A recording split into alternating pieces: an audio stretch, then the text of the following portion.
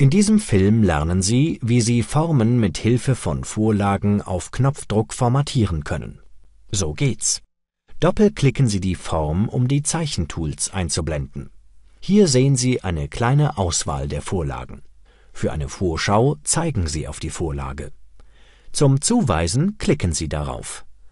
Mit einem Klick auf dieses Symbol öffnen Sie die komplette Auswahlliste. Auch hier gilt Zeigen für Vorschau, Klicken zum Zuweisen